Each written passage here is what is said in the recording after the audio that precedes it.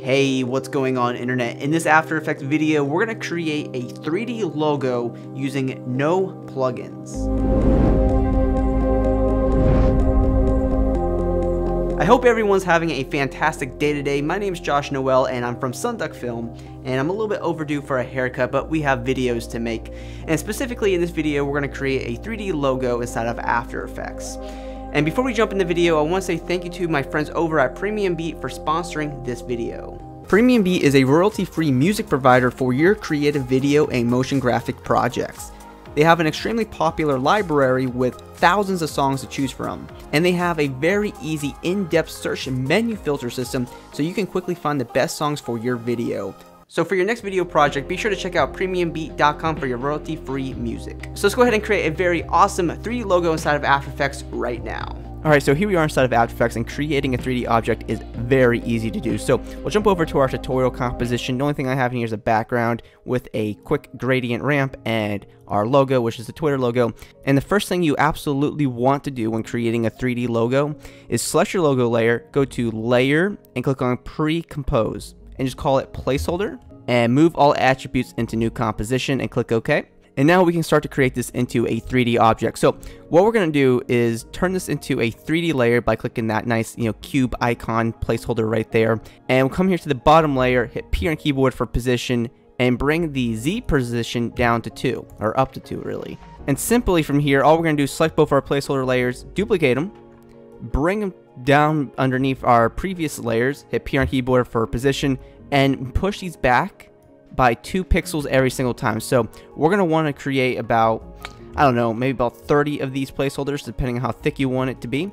And you'll hit P on keyboard for position, and you'll keep doing this. Alright, so now I have a total of 32 placeholder layers here, and it's going to be a nice thick 3D object. So really quick, if we go ahead and go to Layer, New, Camera, and if I come here and grab my camera tools by hitting C on my keyboard, and I rotate this, you'll see that this is a 3D object. However, it's not really, you know, a defined 3D object. There's a couple things that we can do. One, we go to Layer, New, Light, and click OK. Make sure it's a point light. And, you know, you, still don't really get enough dimension in this to, like, actually tell this is a 3D object. It's not great. So, what we're to do here is just delete the light because I don't want it for this uh, purpose. And we'll go to our second placeholder layer, which is number three in my uh, timeline. We'll go to Effect, Generate, and we're going to add Fill. And Phil's a good friend of mine. Uh, anyway, set the color to black and click OK. And then we'll copy the fill and we'll grab all the placeholders underneath our second placeholder layer and we will paste it to the rest of the placeholders by, you know, control Ving it and boom, now there's definition in this 3D logo. We can now tell that this is a 3D logo, and that's all cool. And of course, you didn't have to do black. You could do whatever color you want. You could do like a darker blue or, you know, a darker shade of your color logo, right? And then I want to scroll down to the bottom and grab our bottom placeholder layer, duplicate it, and make sure we select the bottom placeholder layer, hit P on keyboard for position, and we'll bring this back two more points, so we'll go to 64 in my case. And then we will delete the fill, we don't need it, and we'll go to Effect, perspective and we're going to add drop shadow. And we're going to check on shadow only. And from here, we can increase the softness by a little bit. So maybe we'll go like 30. And then we will duplicate this placeholder again. And we'll go to the bottom one. We'll increase the opacity maybe to 75 to 80%. And then we'll increase the softness to maybe about 100. And I'm just going to delete this camera real quick. And let's do it one more time. So we'll duplicate our placeholder and then we'll increase the softness maybe to, maybe to about like 200 or so. And you know, maybe we'll actually go further to like 400. Let's try that. And this time we'll lower the opacity maybe down to 50%. Cool. And this will make our logo pop. Alright, so now that we're done with this, what we'll do is we'll grab all of our layers, except for our background, grab all of our placeholders, go to uh, Layer, pre-compose and we can call it 3D extrude and click OK. so now we just lost all 3D capabilities. So make sure we uh, click on this 3D icon, hit R on our keyboard and rotate this. It's still it's not a 3D layer anymore. So what we have to do is there's this little icon right here that kind of looks like a, a circle with spikes on it. We have to check that layer and now we have all that data back into this composition. The only reason why we, we pre-composed it so we would have a little bit more organization. So what I'll do is hit R on my keyboard to bring up rotation and hit Shift S on my keyboard to bring up the scale.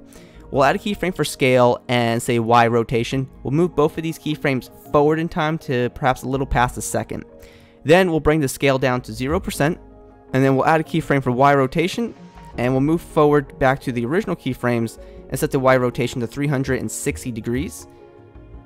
And of course, we want to select keyframes, hit F9 on keyboard to make them easy ease keyframes. So this logo will come in here and rotate, you know, as it comes in at us, and that's pretty cool.